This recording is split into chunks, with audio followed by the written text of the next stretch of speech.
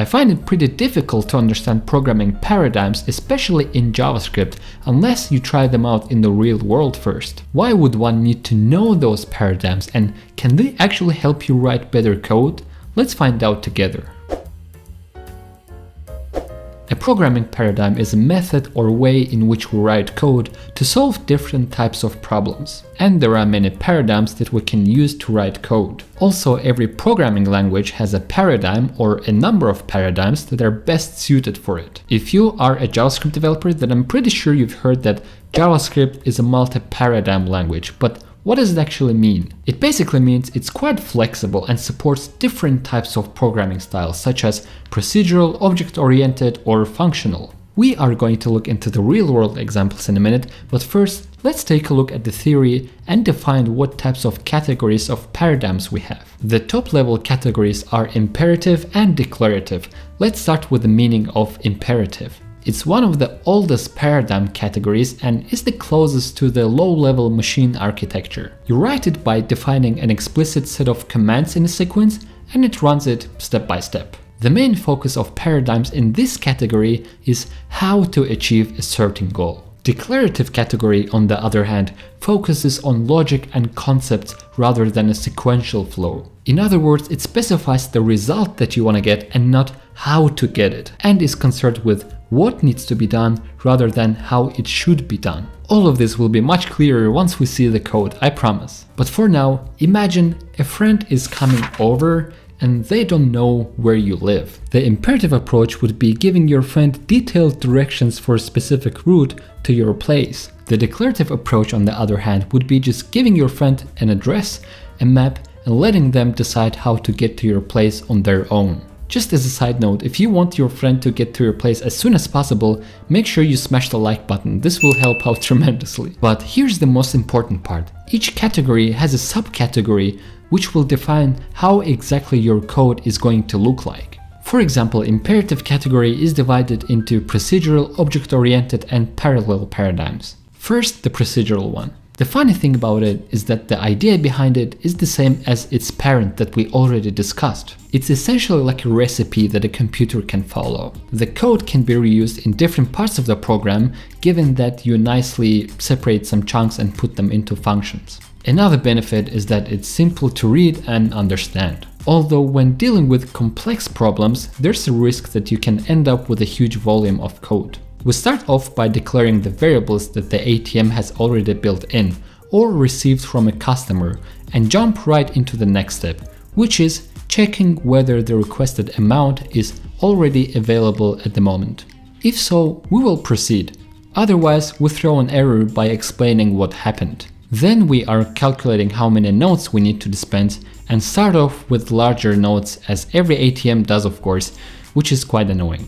We then get to smaller notes by checking whether we have the needed amount every time and at the end we give the customer a list of notes to dispense.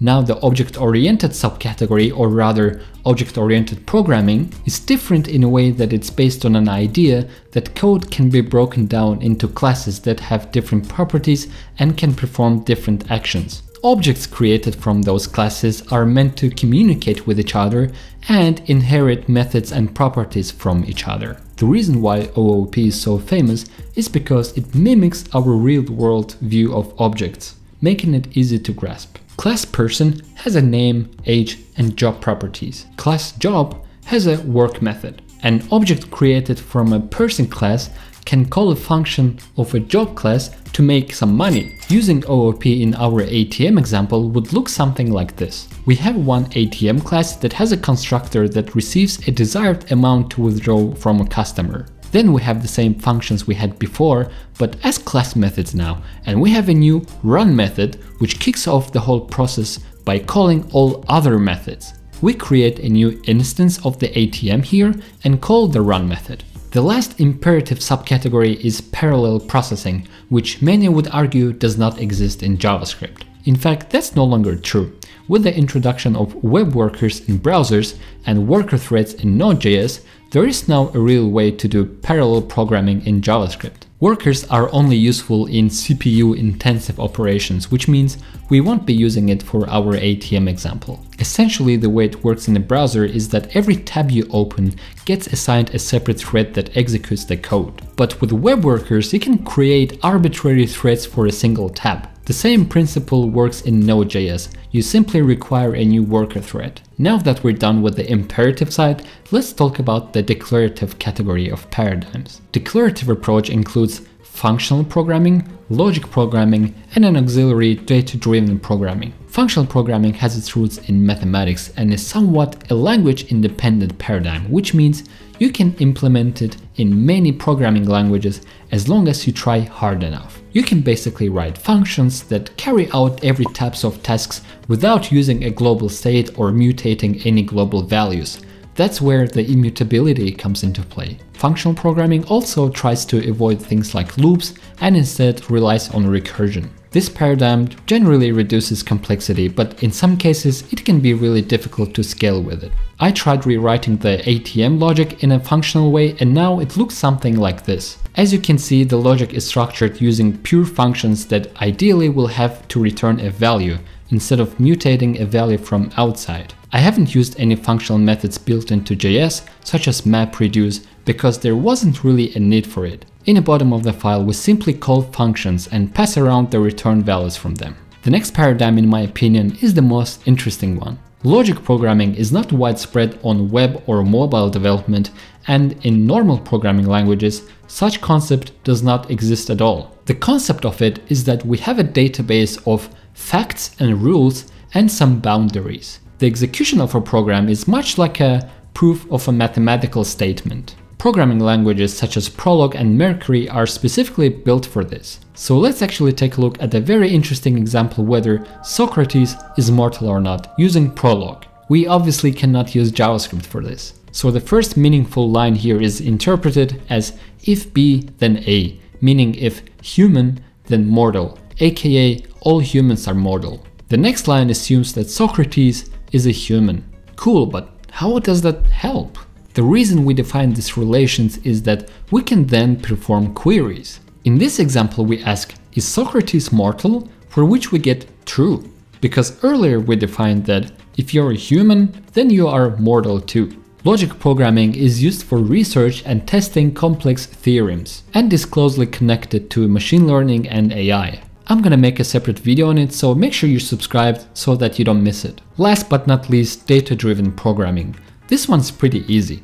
Have you used SQL for dealing with relational databases before? I bet you have. Data-driven programming is exactly that. It's based all around data and its movement. Statements are already defined by the database program that we can use to query, update and delete entities. Before we summarize everything with pros and cons, I would like to mention one of my favorite learning platforms that I use every day, Brilliant. Brilliant.org is an interactive platform where you can learn anything related to STEM, science, technology, engineering and math. The keyword here is interactive. The courses you take are full of visual explanations which will help you learn 6 times faster than with ordinary video content. I'm currently taking a course on logic which helps me with coding challenges that I come across as a software developer. Check out the link in the description to get started for free and you will get a 20% discount for your annual subscription. Remember, investing in yourself always pays off in the long term. So pros of the imperative paradigms of categories are that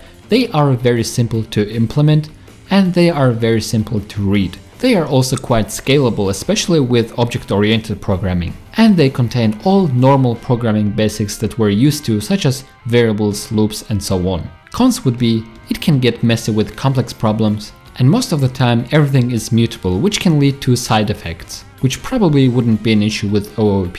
For the declarative category, the pros would be, well, it's just cool and it can have really good applications in math and data related problems. But the cons are that it's difficult to design and implement them, and that the solutions usually don't scale that well.